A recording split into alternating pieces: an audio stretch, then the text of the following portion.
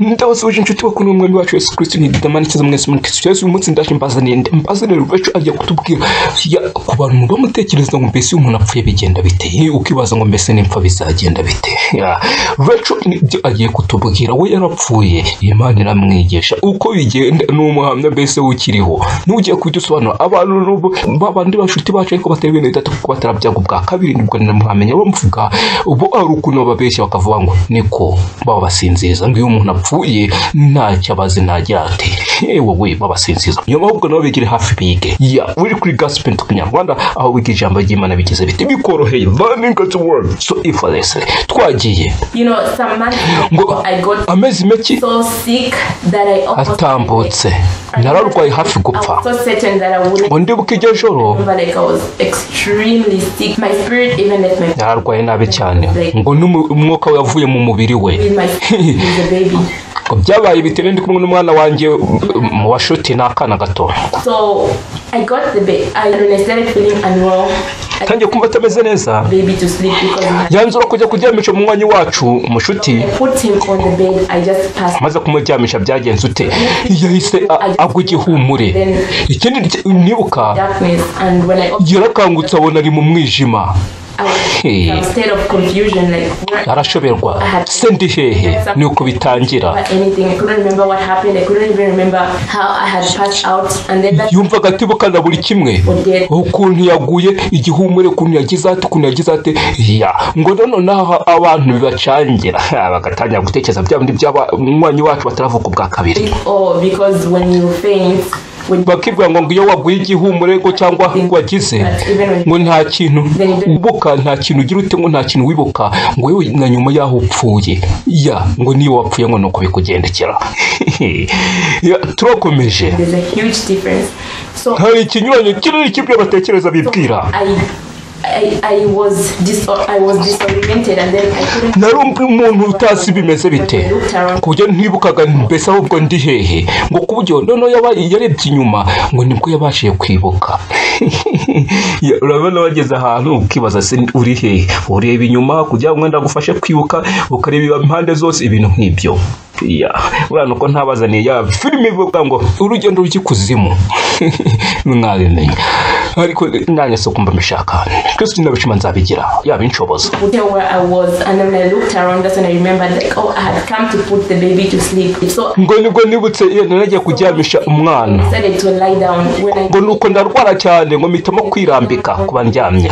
Ndyamye ku buriri. my body, umwuka wanjye ava mu mubiri wanjye. Ni ukuvuga ngo umwuka we ari kuvuga wa muntu w'imbere ava mu muntu w'inyuma. Ngo mbese byasaga nkaho ari babiri be babiri be we babiri kubyumva I was lying down there still, but the other, the other. ngo umwe yari aryamye atuje ariko undi usa nkanjye we akabasha kugenda coming out of the body like nkamubona ava mu mubiri. just above my body my body nari hejuru y'umubiri wanjye umubiri we uryamye hasi. Aho. ngo yarabajije ibi ni ibikira ngo byabaye igiteranije nuko umuntu apfuye amera. Yewe aranibona. Niko gusa n'ibyagaye gato. Kuwa ubundi aba yibona we nagaye gato agahita agira ute? Atura inyabora agira ate? Ubundi we agakomeza akavanza uwo ibaza uwo muntu umugaye gato niba ibi igihe kirekire ni nk'iminsi nk'ibiri akaba yamaze kubivo n'umukungugu ugasanga nibo bakundwa akaje bagize iki? Amamekapu bamuhaye ibintu nk'ibyo bwiza. Ya iyo sije ntabwo ariyo turi komeze twavana my first instinct was to call on ibintu bya mbere natangiye kwiyumvisha ni uguhamagara yesu. Nasakuje ngo yesu! Byari bicecetse. Ndongera ndasakuza yesu. Bituje. Bicecetse screamed kumva atari ridasohoka we. ngo bwa gatatu ndasakuza yesu niwo nishingikirije. Maje gusakuza gutyo. Ngo umwuka we cyangwa se wa muntu w'imbere wese agaruka mu mubiri we. Kubyumva? Sasa ahangaha eh hari ikintu buri umuntu w'imbere hari akantu kamuhuza n'umuntu w'inyuma ako salomo. Yise akagozi k'ifeza. Akagozi k'ifeza. None ako kagozi k'ifeza iyo kataracika uba ushobora kugaruka mu mubiri. Eh, niyo mpamvu buriya niyo uryamye uri kurota ukabona wagiye uriya muntu wawe w'imbere akagozi k'ifeza kaba kakimuhuza n'uw'inyuma iyo kacitse ntabwo bikunda umuntu uw'inyuma ahita atangira kugira ute kubora kugira eh nkuko nibabwiye sasa abasha kugaruka mu mubiri Ya, abasha kugaruka mu mubiri came back in. And then the amazing thing, I know like I ikintu gitangaje in the spirit. Because nguzi ko namenye yuko nasakuje mu mwuka wa muntu w'inyuma we yamenye ko yasakuje n'u- n'uwe w'imbere yasakuje ya ngo byumva ariko se niko next to me. He is normally very sensitive. You know, like he wakes up at the slightest noise. Ngo kuko just- n'umwana wanjye wa mushuti nawe umujyamye iruhande eh, akabebe ka reco ngo nako karabyumvise kakangukamo bukeya n'akajwi gato nyine ni akana. Eh, abashuti Ya, abana n'abasuhuje mumeze mute Bara- mu- murabizi n'abapfuye. Sasa nako ngo kakangutsemo ariko akarongera kari- karituriza. Kumbe ntabwo kazi biri kwa kuri mama we. Sleeping soundly and had screamed so loud I thought that somebody can even come and knock at my door. Ngo yese kujya kujya yatekereje. Ko hari umuntu ahubwo ushobora no kuza. Agakomanga ku rugi yibaza n'ibiki biri kuba. We yari yataye umutwe yagize. Byamucanze se n'ibiki biri kumubaho Eh, umuntu wese upfuye nuko bimutangira bitangira ku rwego rwo nyine nuko ntabaha ya filime iyo filime nababwiye ngo urugendo rujye kuzimu m- mwazabigira atangira byamucanze se n'ibiki biri kuba. Eh, nyuma agatangira kugenda asobanukirwa buke buke nyuma y'igihe akaba yamenyereye. Ya, akaba ari wa- ya- ari wa wundi apfa akora ibyaha nyine kakakirwa. Kabi kakakirwa nta kundi aba yabigenza baby just twendereye just but my baby just slept and he just laid there. He, he just slept soundly because I was screaming in the spirit I, I was out of my body so nobody nobody in the physical could hear whatever I was screaming about. And then I got I was extremely sick. So I called I wanted to call my mom to ask her to pray for me.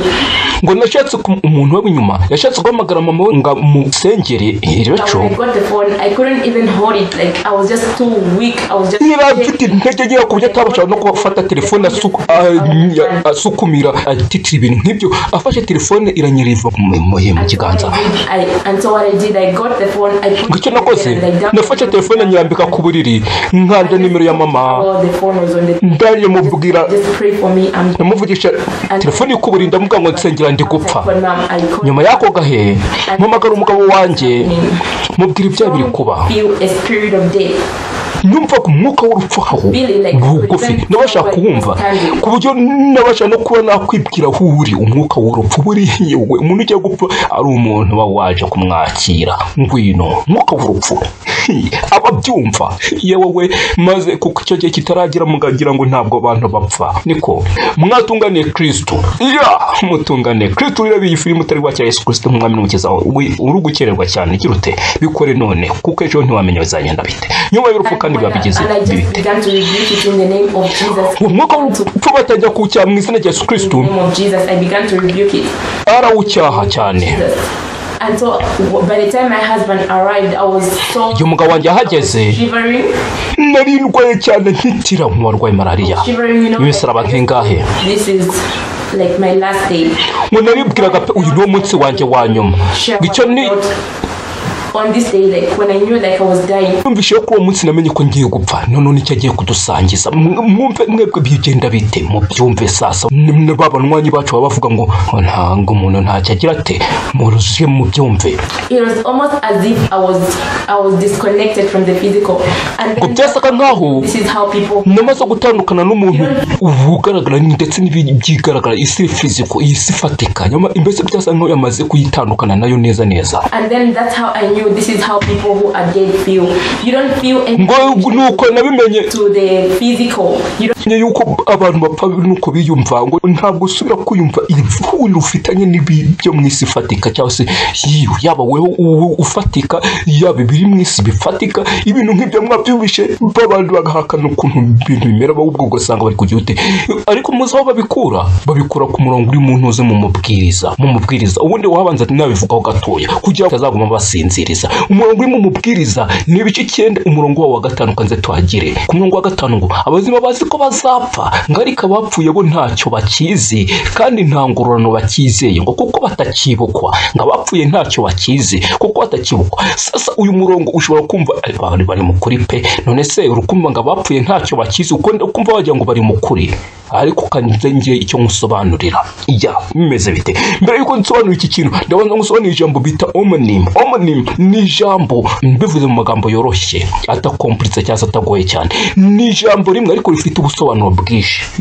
Abandi barigiye bariho ubusobanuro busa nk'ubugoyemo ugasanga bari kuvuga ngo ariko n'ubundi ni bwo ariko bugoye. Bakavuga ngo ni amagambo yandikwa kimwe ndetse agasomwa kimwe. Kumva ngo ariko adahuje ubusobanuro. Mu rukundo bitagoye yandikwa kimwe asomwa kimwe ngo ariko adahuje ubusobanuro. Amane ya ariko nyine muri ufata ka kanuza nakubwiye koroshye ngo ni ijambo rifite ubusobanuro bwinshi. Gutyo wenda ngo urugero ndatanga urugero rw'ijambo ryo mu cyongereza ijambo bita faya faya faya ni ijambo rivuga umuriro. Ariko nanone ishobora kuvuga kurasa ariko nanone ikongera ikavuga kwirukana. Ibintu nk'ibyo ni amagambo menshi bivuga ubusobanuro bwinshi cyane. Urukumva noneho ushobora kuba gusoma ijambo ngo faya ukajya urugusoma ukagera ahantu handitswe faya muhumure. Iki turiho no mu kinyarwanda turaza kuribona ayo ma homonyme turaza kuyabona cyangwa se omanime turaza kuyabona mu kinyarwanda. Noneho waba uri gusoma ukumbugira ku jambo ngo faya ukibaza se ni iki? Rero iyo ugusoma bibiliya rero ugera ku jambo rya umunimi wayikuba kurisobanuza ubwenge bwawe cyangwa se iki? Ntabwo wabyumva nk'uko biri. Bisaba ngo umwuka wera bari gusobanura iyo umunime ni iki. Iri kuvuga kuri ihe jambo. Ese iri kuvuga kuri faya y'umuriro? Ese iri kuvuga kuri faya yo kurasa? Ese iri kuvuga kuri faya gutyo wenda ako kagezemo rero uyu murongo turi gusoma wuzuyemo ama omonime uyu murongo wuzuyemo ama omonime niyo mpamvu bamwe biha kubusobanura mu buryo bwabo bagashituka basobanuriye ukundi kuntu. Bakumva bagatekereza ngo nuko nguko nyine ngo abazima bazi ko bazapfa ariko abapfuye bo ntacyo bakizi. Bagatekereza ngo nyine ngo ubwo baraho ntacyo bazi gutyo. Uba busobanuriwe mu bwenge bwawe cyangwa se hari abagusobanuriye nabi cyangwa se ndiko hari imyuka y'ubuhanuzi. Cyangwa se imyuka iyobya ari ibigusobanuriye ikizakubwira ko atari umwuka wera nyiri kwandikisha bibiliya umwuka wera uva ku mana umuremyi w'isi n'ijuru nuko uzagera hirya ugasanga ahandi hari kuvuga ibindi binyuranye n'ibyo ngibyo uvuga. Ukibaza se uyu mwuka ni umwe? Uri kugera hirya ukinyuranya? Uhita ubimenya nyine. Ntabwo ari umwuka wera uri gusobanurira iyo ntabwo ari umwuka wera uba wayigusobanuriye noneho bimeze bite tubisobanukiwe neza. Ngo abazima bazi ko bazapfa ni ukuvuga ngo nyine umuntu uriho akwiye kumenya ko hari igihe kizagera agapfa. Ibyo byo birazwi rwose. Biri mu buzima yavuga igira iti ngo nta myaka ijana ni kubera ikibazo ko bazapfa. Noneho tugakomeza ngo ngo ariko abapfuye bo ntacyo bakizi. Nyine byarabarangiranye. Byarabarangiranye. Ngo kandi nta ngororano bakizeye kuko batakibukwa. Nta ngororano bakizeye. Muno harimo omonime menshi ngango gupfa ngo bazi ko bazapfa. Nkaho gupfa ni ni omonime ni ugupfa ishobora kuva kuva mu mubiri nyine. Twese yaba umukiranutsi cyangwa se yaba umunyabyaha akava mu mubiri. Gupfa nyine. Ariko noneho murabizi ijambo gupfa hari aho ridakora ku mukiranutsi. Umukiranutsi murabizi ntapfa. Umukiranutsi ntapfa arasinzira. Bibiri hari aho ibivuga. Ariko ugasanga ahandi yavuze ngo irapfuye. Ni nko muri mateyo havuga ngo imana ni imana y'abazima si imana y'abapfuye. Ikongera ikavuga ati ngo ni imana ya aburahamu na isaka na yakobo. Kandi isaka na yakobo ni aburahamu tuzi ko bapfuye. Ariko ntabwo bapfuye. Urukumva iyo ni omonemu iya. Murabyumva.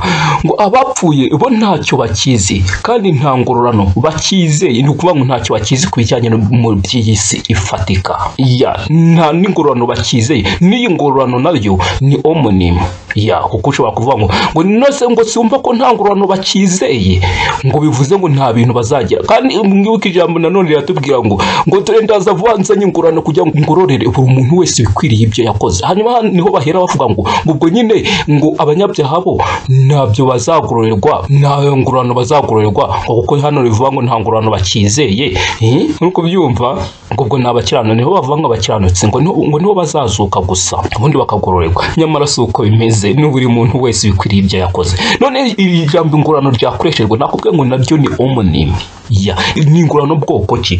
Ni ingororano inyungu. Kumwukora ukagira inyungu ukabona inyungu nyine nta nyungu. Ya bakizeye zava mu by'ibifatika kubera iki?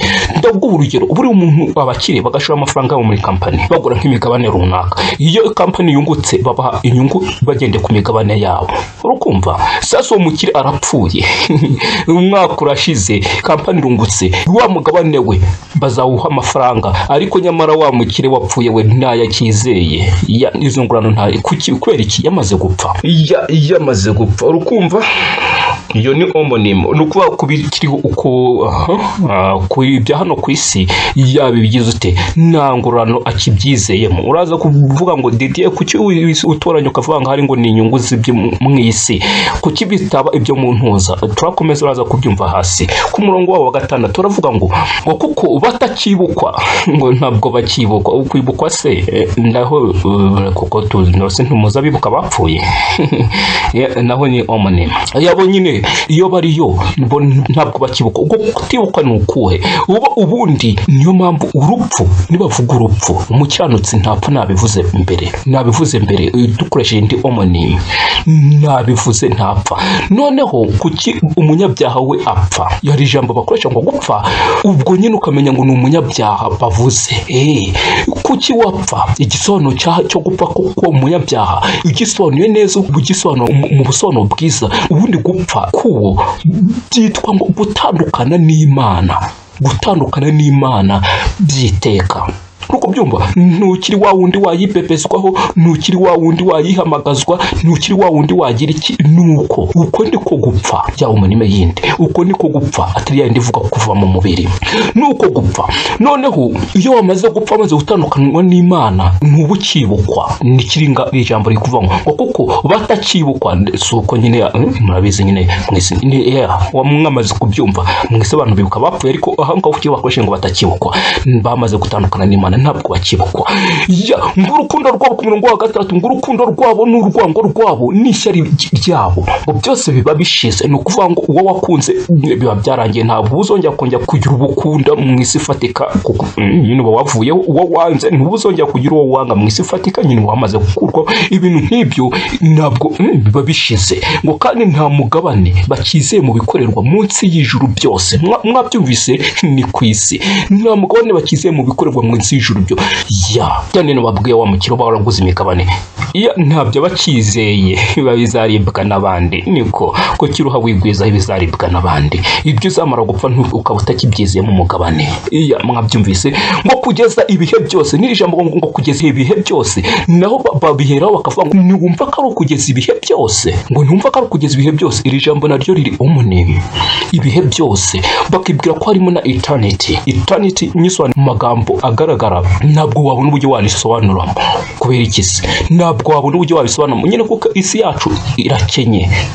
Kumwe baba bari gushaka basobanura nk'ijambo ry'icyongereza akora uko babisobanuramo bakavuga ngo kirakenye. Noneho nawe ugeze mu magambo y'umwuka nyine isi yacu irakenye. Urukumva hari ibintu itabasha gusobanukirwa. Hari ibintu itabasha gusobanukirwa. Kuko isi y'umwuka iri advanced irarenze. Iri advanced. Tekereza iyo umuntu niba abasha kwishima mu isi ifatika mu isi y'umwuka wakwishima birenze byikubye niba umuntu ababara mu isi ifatika. Mu isi y'umwuka urababara ubwo nawe uhita wumva wagiye habi cyangwa se wagiye aheza uburyo biba bimeze. Ibyo unezerwa byikubwa kenshi ibyo ibikubabaza. Ya bikikubwa kenshi kuki muhitamo abantu bahitamo kunezerwa n'isi yifatika ari iki? Njye mpita mbabona nka Esawu ari kwigira ate ari guhitamo ifunguro ry'umunsi umwe. Ibitukura by'umunsi umwe. Bitanashitse n'iminsi ibiri. Ni uko umuntu ngo ry'isi ugahitamo kwemera ukavuga ngo ibyaho hanyuma bizagenda uko bigende. Uba umeze nk'umuntu wahisemo Esawu ari guhitamo ifunguro ry'umunsi umwe. Uguki ni ukutamenya Ya, ndetse nta nubwo ritarana kuryohera basi nko ku kigero cy'umuntu wagiye mu ijoro akamaro y'umunsi umwe ukuntu byamumerera. Yewe we ni ukutamenya ni ukutamenya ya mbo ibihe byose ibi bihe byose biri kuvugwa nyine nakubwiye ngo eh, ntabwo nabona uburyo nabisobanura ariko nk'umuntu ufite umwuka nyine we atabyumva araza kubyumva umuntu ufite umwuka wera araza kubyumva. Ntabwo ndi kuvuga abandi bigize abanyabwenge bakoresha amanalize yabo kuko kubera iki nyine nakubwiye isi. Isi yacu uh, irakenye isi yacu irakenye ndaho waba mu muhanga ukagenda waba ufite za masters ufite za phd ufite za doctor ibintu nk'ibyo. Impamyabumenyi yose waba ufite. Urwego waba uriho rwose. Rwose urakenye. Hari ibintu utabasha gusobanukirwa. Kandi nyamara ugasanga umuntu w'umuswa ariko afite inzira zigana isiyoni mu mutima we ngo ugasanga ariho arabyumva neza cyane. Kandi ngo ni umuswa. Icyo asabwa ni ukugira ute? Kugira umutima uboneye. Murabizi ya nzira ya nyabagendwa. Uburyo wazayigenda ariko ugasanga abantu b'abahanga ntabwo bashoboye kuyigenda. Nuko bimeze. Noneho ngo ibihe byose ibihe byose bivugwa ni ukuvuga ngo nyine ni igihe isi izaberaho. Izaberaho uwo muntu ntabwo azagira ute. Nta mugabane azaba yiteze mu bizaba biri kubera ku isi. Kugeza igihe isi izaberaho yose. Kuko ushobora kuvuga kugeza uri kuvuga ko ari igihe isi izaberaho? Hari igihe nyine ibihe bizagira. Hari igihe ibihe bizageraho iherezo niyo benshi bamwe bavuga ngo turi mu bihe bya nyuma. End time. Mu bihe bya nyuma hari igihe kizabaho igihe kita ni ibyo mu isi ifata yo mu mwuka sinabona uko nabivuga. Ni igihe kitagira igihe. igihe kitagira igihe nta kuntu wabisobanura.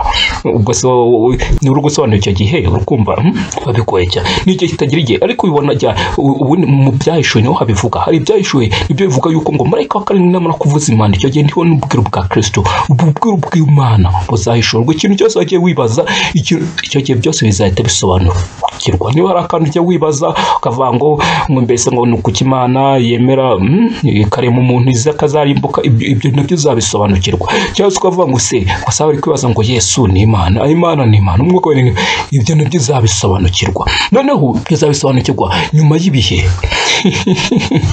Igihe nyine ahangaha ibihe byose byamaze gutambuka.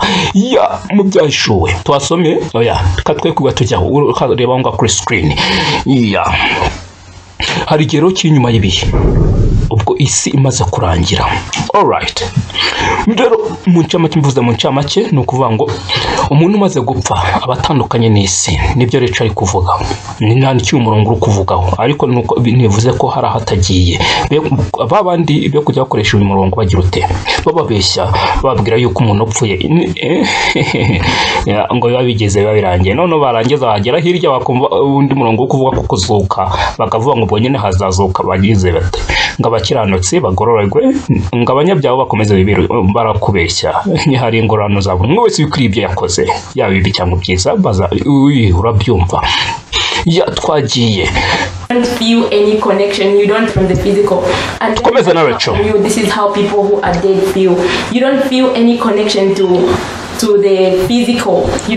ntabwo- wiyumvamo n'akantu na kamwe.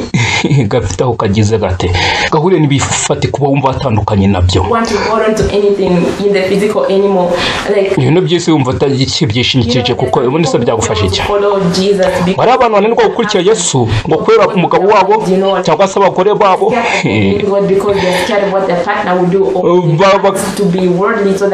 Gatinya kubaha kristo kuko baba bibwira ngo si uwo twashakanye arabitekerezaho iki bintu nk'ibyo ugasanga ari kubabuza gukurikira kristo bakamwumvira niko iyo wapfuye se eh?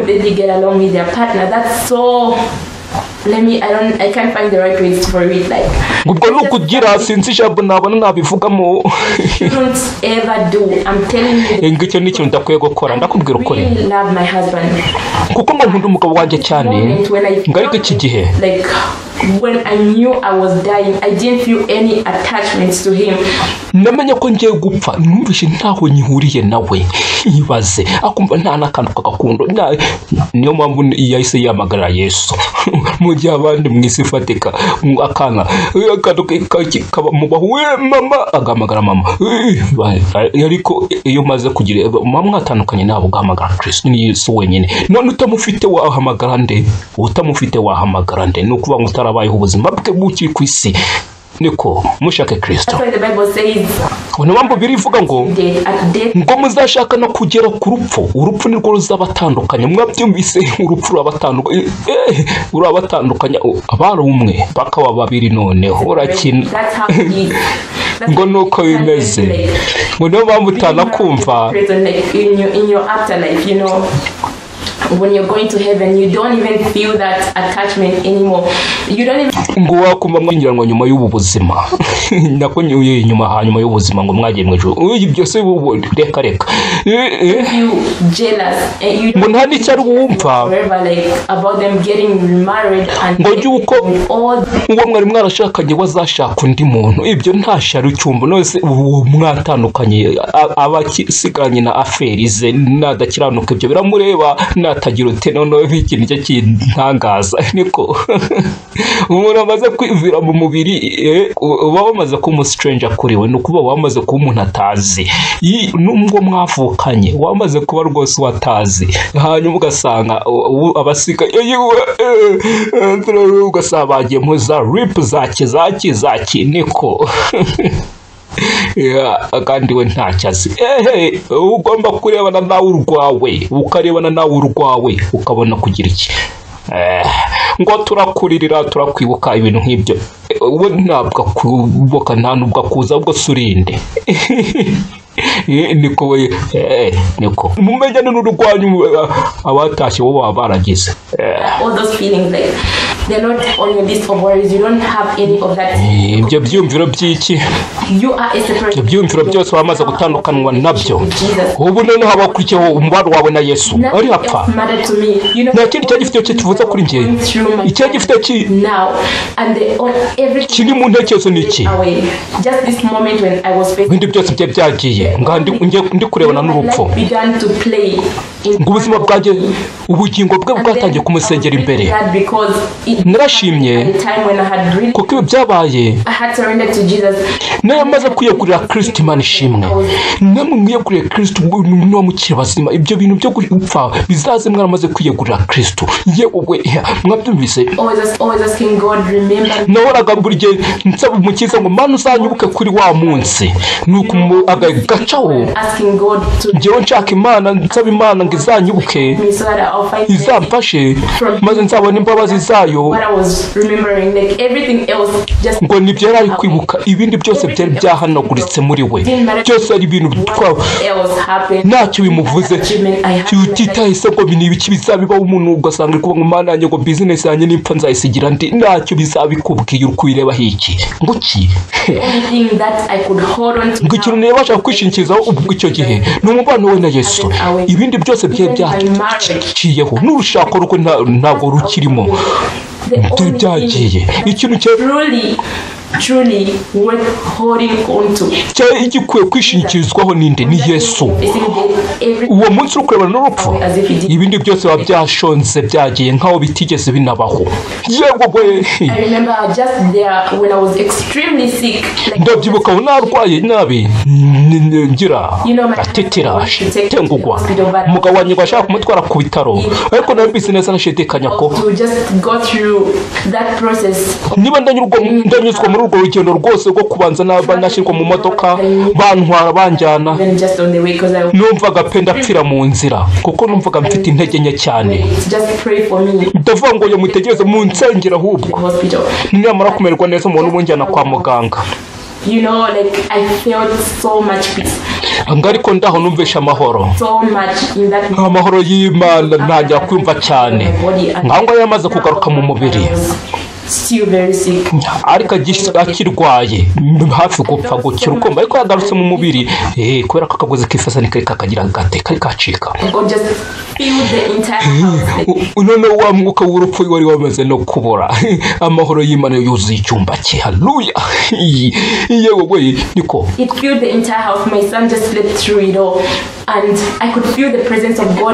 Mushuti wacu we. yibereye aho mwumva kugaragara kw'imana mu buryo bukomeye yesu yaranambwiye yaramuvugishije aramubwira ngo yaravuze urabaho. Hareruya ngaramubwira ngo niba umuntu mu buzima bwe. Yaranyeguriye ubugingo bwe. N'umutima we wose akumva ashaka kunyubaha n'umutima we wose. N'umutima we wese ashaka kunshaka. Yaranyiyeguriye we. Kuri wa munsi we agiye gupfa nzamujyana mu ijuru. Arambwira ngo ngo iyo uza gupfa. Wari kubana nanjye mu ijuru.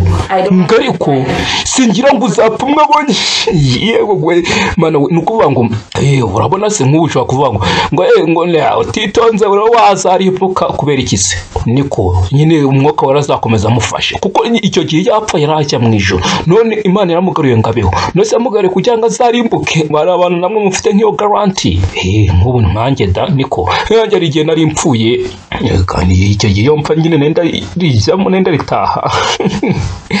ni ibintu byinshi byo gusobanura ariko ntabwo nirabijyamo ariko kristo yatumye mbaho mbaho noneho niba ndi kose ndi kubaho ngo nzarimbuke umwuka wera azakomeza anyobora noneho nawe cyo nuko bimeze ese nawe ufite iyo garanti iya noneho mpita nsuhuza n'abageni none umwuka eh mbabwiye kuri bya bihe by'abageni kristo yanyeye kajya ari kure ry'abageni iya njyewe ntabwo nari ndi mu barataha abageni nongera kubasuhuza na za ntashyo meza kuzibaha imirimo yo iba igikomeje imirimo irakomeje muri kristo But I don't want you to die because it's not time yet. Sinjye upfe nk'igihe ntikiragera birakomeza. kuko yesu ngo bagiraga tumenyeshe ko hari ibyiringiro ngo kandi ibyiringiro byacu ntabwo ari iby'ubusa ngo niba turi gushaka imana.